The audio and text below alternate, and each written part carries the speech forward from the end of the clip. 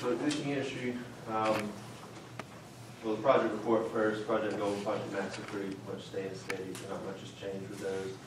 Uh, industry visits, uh, STITA, CRT, uh, SAF, Second Harvest, Lowe's, RDC, and Home Depot, RDC, Langdale Industries, and then uh, Smith Drug. And on the agenda there, you can see uh, emergency exit approval. I have been working with Smith Drug basically since I have been here, since January, on uh, an emergency exit uh, for them. Uh, They approached, I guess, Alan, when he approached the authority back before I started about an emergency exit. They had some concerns. When Permafix caught on fire three or four years ago, they shut down St. Augustine Road, and there was no, um, you could not exit Azalea West Business Park at all. Um, So they came to us with this idea. We've been working with them on getting it approved by the county and the city. Uh, We got the permit, and we got the engineering drawings done, and this is what it looks like, and I'll give you. So this is kind of, it's gonna exit onto Lloyd Jackson Road uh, from their shipping and receiving yard. Um, It would only be used for emergency access only, in the event of emergency, and within the park or outside of it. Um, We think it'll, we think it'll improve the park, um, and it'll go a long way to appeasing our existing industry within the park. Every, every business and company within the park is on board with it, they think it needs to be done.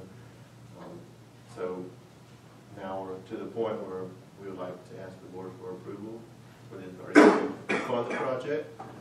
Um, And some cost estimates on the project are as goes, some general bid items, which includes some clearing, some traffic control, mobilization, things like that, storm sewer installation, the roadway construction, fencing and the gate, you know, twenty percent contingency would be estimated at fifty-five thousand dollars. We'd like to get this done as soon as possible, so as soon as the board approves, we can go ahead and give the go-ahead to start on the project. And hopefully have done, done soon, so. This would be an exit that would be available to anybody in the park? Within the park in the event of an emergency. And the, and it'll have, um, the fire marshal or fire department would have access via a key box, so it wouldn't be something that's open twenty-four seven. So we'd also like to thank the county for their support with this, because they have, um, issued us a letter of support to help us with this, and so we're thankful for the county and helping, and give us access on to Lloyd Jackson Road, um, for the people that work in this park. So we need to bid the project. Yes. So the main purpose that we would like to do is everything has been taken to where it needs to go. We now need approval from the board to move forward. We will, um, once we get the board to approve this, we'll actually bid the project out, but these are cost estimates that have been given to us through level engineer. Um, they've looked closely at the project, and so we would like permission to approve fifty-five thousand dollars or fifty-six thousand dollars to move forward with the project. Um, and then we would, um, issue bids, uh, and we would follow our bid procedures as we normally do. So you need a motion?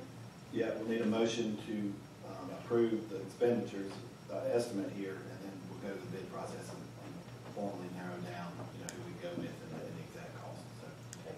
a blanket funding. So I um, move that we approve approximately fifty-six thousand dollars uh, to be spent for an emergency exit off of this particular part and for our staff to move forward with the bid process.